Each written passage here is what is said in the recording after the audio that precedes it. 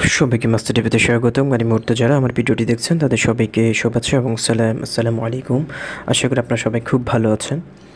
So friends আপনারা যারা এসপিসিতে কাজ করবেন, ভাবছেন এসপিসির নতুন আইডি ক্রিয়েট করবেন, চিন্তা করছেন বাট করবেন কি করবেন, এরকম দ্বিধাদ্বন্দ্বে ভুগছেন তাদের জন্য আজকের এই ভিডিওটি ভিডিওটির মাধ্যমে আমি ইনশাল্লাহ আপনাদেরকে পুরোপুরি ক্লিয়ার করে দেব যে এসপিসিতে আপনার এখন, এই মুহূর্তে আপনার অ্যাকাউন্ট ক্রিয়েট করা কতটুকু যুক্তিযুক্ত? অ্যাকাউন্ট ক্রিয়েট করে কি করে কি আপনি সেখান থেকে লাভবান হবেন, নাকি লসে পড়বেন? সো ভিডিওটি শুরু থেকে শেষ পর্যন্ত দেখবেন। আশা করি আপনার পুরোপুরি ক্লিয়ার হয়ে যাবেন। আজকের ভিডিওটি দেখার পর আপনি সিদ্ধান্ত নিয়ে নেবেন, এখানে অ্যাকাউন্ট করবেন কি করবেন না। সো ফ্রেন্ডস কথা না বাড়ি মূল ভিডিওতে চলে যাব। যাওয়ার আগে একটি কথা না বললে নয়, যারা আমার চ্যানেলে প্রথম প্লিজ চ্যানেলটি সাবস্ক্রাইব করুন। পাশে থাকা বেল বাটনটি ক্লিক করে রাখুন, যাতে পরবর্তী আপডেট দেওয়ার সাথে সাথে আপনার মোবাইলের নোটিফিকেশান চলে যায়। আর ভিডিওটি ভালো লাগলে, অবশ্যই লাইক কমেন্ট এবং শেয়ার তো করবেনই। সো ফ্রেন্ডস সরাসরি মূল ভিডিওতে চলে যায়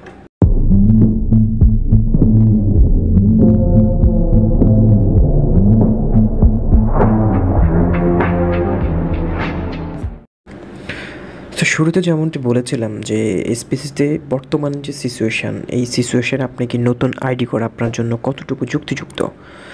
সো শুরুতে আমি বলে রাখি, আপনারা জানেন এসপিসিতে যারা অ্যাকাউন্ট করে তারা সবাই কিন্তু মোটামুটি একটা প্রফিটের জন্যই কিন্তু অ্যাকাউন্ট করি আমরা। শুধু এসপিসি না, যতগুলো MLM e commerce site company রয়েছে, আমরা সেখানে ইনভেস্ট দ্যাট মিনস ইনভেস্টমেন্ট সাইটগুলো রয়েছে, যতগুলো বাংলাদেশে আমরা প্রত্যেকটা ইনভেস্টমেন্ট সাইটে ইনভেস্ট করি একমাত্র। ভালো একটা প্রফিটের আশায়। আর আরেকটা বিষয় আমরা চিন্তা করি যে, এখান থেকে যদি আমি ইনভেস্ট করার পর যদি ভালো একটা ফিডব্যাক পাই প্রফিট পাই, তাহলে সেই টাকাটা দিয়ে হয়তো আমি আমার ফ্যামিলিকে সচ্ছল করতে পারব। আর যদি সেখান থেকে ভালো সুযোগ সুবিধা পাই, তাহলে এটা আমাকে প্রফেশন হিসেবে নিয়ে নিতে পারব। এ চিন্তা করেই কিন্তু আমরা আজ এই এমএলএম কোম্পানিগুলো অথবা ই কমার্স কোম্পানিগুলোতে আমরা ইনভেস্ট করি। সো ভিডিওটির মাধ্যমে আমি একটি বিষয় আপনাদেরকে জানান দিতে চাই। এই সকল সাইটগুলোতে আমাদের ইনভেস্ট করার আগে আমাদের একটি বিষয় মাথা রাখা উচিত, মাথায় রাখা উচিত সেটি হচ্ছে কোন কোম্পানিতে আমি ইনভেস্ট করছি এবং কোন কোম্পানিতে আমি ইনভেস্ট করে কতটুকু প্রফিট পাবো সেটি চিন্তা তো করবেনই এবং আরেকটি বিষয় চিন্তা করবেন সেটি হচ্ছে যে কোম্পানি যে কোম্পানিতে আমি জয়েন করব সেই কোম্পানির উইথড্র সমস্যাটা আছে কি না উইথড্রোটা কতটুকু সহজ, সরল, সেটি আসলে আমার চিন্তা করা উচিত কোম্পানিতে জয়েন করার পূর্বে। সো আপনারা জানেন এসপিসিতে বর্তমান যে অবস্থা যাচ্ছে, সেটি হচ্ছে উইথড্রো সমস্যাটার সমাধান তো হয় নাই। নতুন নতুন রুলস, রেগুলেশন তৈরি করছে এসপিসি উইথড্রো যে সমস্যাটা এসপিসি চালু হয়েছে আজকে প্রায় দুই মাস বন্ধ হওয়ার পর, দুই মাস হয়ে গিয়েছে, বাট এখনও ম্যানেজমেন্টের কোনো কর্ণপাত হচ্ছে না যে উইথড্রো সমস্যাটা আদৌ কি তারা ঠিক করবে কি না তাদের কোনো কর্ণপাত ভ্রুক্ষেপে নাই এই বিষয়টির মধ্যে। তারা এখনও চিন্তাও করে নাই যে তারা কি অফিস অফিস যে এজেন্ট সেটা চালু করবে নাকি আগের এজেন্টদের মাধ্যমেই তারা উইথড্র দিবে নাকি তারা রকেট বিকাশ অথবা যে সকল মোবাইল ব্যাঙ্কিংগুলো রয়েছে তাদের মাধ্যমে বিকাশ করতে পারব কিনা সেই বিষয়টি এখনও তারা ক্লিয়ার করতে পারেনি তারা এই উইথড্র সমস্যাটার সমাধান নিয়ে মেম্বাররা এত এত অভিযোগ, অনুযোগ করছে এটি তাদের কোনো ভ্রুক্ষেপে নাই। তারা শুধু নতুন নতুন রুলস তৈরি করে মেম্বারদেরকে হয়রানি করার জন্যই তারা ব্যস্ত রয়েছে। এখানে আপনারা চিন্তা করবেন যে এসপিসিতে এখন বর্তমানে যারা কাজ করছে, তাদের দু একজনের সাথে আপনি আগে আগে কথা বলবেন যে এসপিসিতে আসলেই কাজ করা ঠিক হবে কি না তারা কী কী সমস্যা ফেস করছে, তারপর আমি আজকে ভিডিওটির মাধ্যমে সেই সকল সমস্যাগুলো তুলে ধরবো। সো এখানে এসপিসি বর্তমানে আপনি যদি জয়েন হতে চান, এখানে উইথড্র সমস্যাটা রয়ে গিয়েছে। এখন বর্তমানে আপনি কমিশন দিয়ে আপনি উইথড্র করতে হচ্ছে।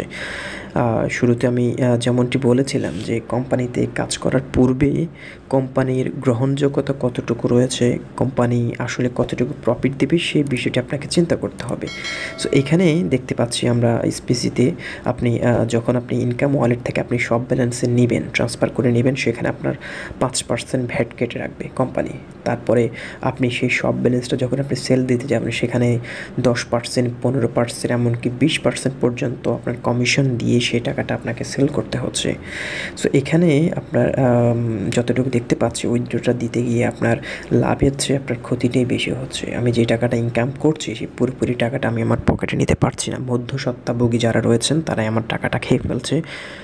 চার ভাগের এক ভাগ টাকাই তারা খেয়ে ফেলছে। বাকি তিন ভাগ টাকা আমার পকেটে আসছে। তার উপর আবার নতুন করে যে সকল রুলস রেজুলেশনগুলো স্পেসিফিক করেছে, আপনারা তো দেখতেই পাচ্ছেন। এই সকল রুলস রেজুলেশন দেখে আমার মনে হয় না নতুন করে অ্যাকাউন্ট করে আপনি এখানে ভালো কিছু প্রফিট পাবেন। কারণ আপনারা স্পেসে একটি অ্যাকাউন্ট করে সেখান থেকে আপনারা ইনকাম করতে যতটুকু পারবেন, তার চেয়েও মনে হয় আপনি বেশি হতাশায় ভুগবেন।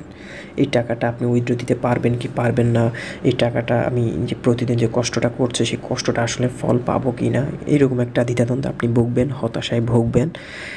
সো এসপিসিতে অ্যাকাউন্ট করার আগে আপনার একশো বার চিন্তা করা উচিত। শুধু এসপিসি না, বাংলাদেশের যতগুলো এমএলএম কোম্পানিগুলো রয়েছে, সেই সকল এমএলএম কোম্পানিগুলোতে আপনি জয়েন করার আগে একশো বার চিন্তা করবেন। আপনি সেখানে ইনভেস্ট করবেন কি করবেন না। ইনভেস্ট করে যদি হতাশা ভোগেন, তাহলে কিন্তু আপনার পুরো জীবনটাই নষ্ট। কারণ একটা হতাশা মানুষকে মৃত্যুর দ্বার প্রান্তে নিয়ে যেতে পারে। সো এখানে অ্যাকাউন্ট করার পর আপনি চিন্তা করার প্রয়োজন নাই। আপনি অ্যাকাউন্ট করার আগেই আপনি চিন্তা করবেন যে আপনি সেখানে অ্যাকাউন্ট করবেন কি করবেন না? করলে আপনার সেখান থেকে লাভ কীরকম হবে? লোকসান কীরকম হবে?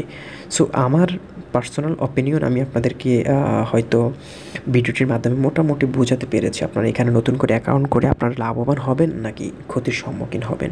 আশা করি ভিডিওটি যদি আপনারা মূল্যায়ন করেন, যদি ভিডিওটি শুরু থেকে শেষ পর্যন্ত যদি আপনারা কর্ণপাত করে যদি মনোযোগ দিয়ে শোনেন, তাহলে হয়তো আমার অ্যান্সারটা আপনার পেয়ে গিয়েছেন। সো তারপরে একটি কথা না বললে নয়, যে কোনো কোম্পানিতে আপনি জয়েন হবেন নিজস্ব রিস্ক নিয়ে। কারণ বাংলাদেশ নয়, বিশ্বের এমন কোনো কোম্পানি নাই, যে কোম্পানিগুলো আপনাকে পুরোপুরি প্রফিট দিয়েই তারা নিজের স্বার্থটা হাসিল করবে, তা কিন্তু নয়। বিশ্বের এমন অনেক অনেক কোম্পানি রয়েছে, যে কোম্পানিগুলোকে আপনার ইনভেস্ট করার পর, আপনাকে দু এক মাস প্রফিট দেওয়ার পর কোম্পানিগুলো ধ্বংস হয়ে যায় অথবা হারিয়ে যায়। এবং বাংলাদেশে এমন অনেক কোম্পানি রয়েছে যে সকল কোম্পানিগুলো গ্রাহকদের টাকা খেয়ে প্রতারণা করেই তারা কোম্পানি ধ্বংস করে দিয়েছে। এখানে আরেকটি বিষয় যেটি হচ্ছে এসপিসিতে কাজ করার যদি আগ্রহ থাকে তাহলে আপনি নিজের রিস্ক নিয়ে কাজ করবেন। আমি সেখানে আপনাকে পরামর্শ দেবো না যে, ভাই, আপনি এখানে অ্যাকাউন্ট করুন, আপনার জন্য ভালো হবে। বাট স্পেসের বর্তমান সিচুয়েশান আমি যদি একটু বিশ্লেষণ করি, সেই বিশ্লেষণ থেকে আমি যতটুকু বুঝতে পেরেছি যে, নতুন করে অ্যাকাউন্ট করাটা আপনার জন্য এখানে অতটা ফলপ্রসূ হবে না। তারপর আপনার যদি মনে হয় যে, আপনি এখানে স্পেসিকে ওভার অ্যাক্সেস ভালোবেসে ফেলেছেন, এখানে আপনি অ্যাকাউন্ট করে স্পেসের সাথে থাকতে চান স্পেসের ফ্যামিলি হতে চান, তাহলে ঠিক আছে, আপনি করতে পারেন। এটা আপনার রিস্ক নিয়ে আপনি কাজ করতে পারেন। বাট একটি কথা বলতে পারি যে এসপিসি যেহেতু নতুন নতুন রুলস করছে, নতুন নতুন নিয়ম করছে, বলা যায় যে এসপিসি দীর্ঘ টাইম হয়তো থাকতে পারে বাংলাদেশে। বাট এসপিসি থেকে আপনি ভালো কিছু প্রফিট পাবেন, সেটা আমি বলতে পারব না। কারণ স্পেসির renew system star system star bonus system তারপর হচ্ছে রয়্যাল অ্যাকাউন্ট পার্ট টুতে রেজিস্ট্রেশন করা, এই সকল অবস্থানগুলো বিবেচনা করলে আপনারা বুঝতে পারবেন এখানে অ্যাকাউন্ট করাটা আপনার জন্য কতটুকু ভালো হবে। আর এসপিসি যে নতুন নতুন নিয়মগুলো তৈরি করছে, এগুলো যদি বাস্তবায়ন হয়, বাংলাদেশের অন্যান্য কোম্পানিগুলোও কিন্তু এসপিসির এই সকল রুলসগুলো ফলো করবে। আপনারা জানেন এসপিসিকে ফলো করে বাংলাদেশে এখন হাতে গোনা অনেক কোম্পানি হয়ে গিয়েছে। আপনারা যদি একটু খেয়াল করেন যে এসপিসিকে ফলো করে অনেকগুলো কোম্পানি দাঁড়িয়ে গেছে। এখন এসপিসি যদি নতুন নতুন রুলস করে সেই সকল কোম্পানিগুলো কিন্তু এসপিসি রুলসগুলো অনুসরণ করবে তারা নতুন নতুন রুলস তৈরি করবে। সো এখানে দেখা যাচ্ছে এসপিসির কারণে আপনার অন্যান্য কোম্পানিতে জয়েন করাটাও আপনার জন্য ফলপ্রসূ হবে না। কারণ এসপিসি রুলসগুলোই তারা ফলো করবে। সো এসপিসি আজকে যে সকল রুলসগুলো আমরা দেখতে পাচ্ছি সেই সকল রুলসগুলোই কিন্তু অন্যান্য কোম্পানিগুলো অ্যাপ্লাই করবে। অ্যাপ্লাই করার পর দেখা যাবে আপনি এসপিসিতেও কাজ করতে পারবেন না, অন্য কোনো কোম্পানিতে আপনার কাজ করার সুখকর হবে না। সো আশা করি ভিডিওটির মাধ্যমে যতটুকু এক্সপ্লেন করতে পেরেছি, আশা করি আপনাদেরকে হয়তো মোটামুটি বোঝাতে পেরেছি। সো কোনো কোম্পানিতে জয়েন করার আগে নিজের রিস্কটা চিন্তা করবেন, এখানে আপনি ইনভেস্ট করার পর আপনি হতাশা ভুগবেন কি না যদি এই বিষয়টা মাথায় নিতে পারেন, তাহলে হয়তো আশা করি কোনো কোম্পানিতে আপনি ক্ষতি সম্মুখীন হবেন না। সো ফ্রেন্ডস আজকে ভিডিওটি এই পর্যন্ত শেষ করতে চাচ্ছি দেখা হবে পরবর্তী ভিডিওতে নতুন কোনো টপিক্স নিয়ে। আল্লাহ হাফিজ।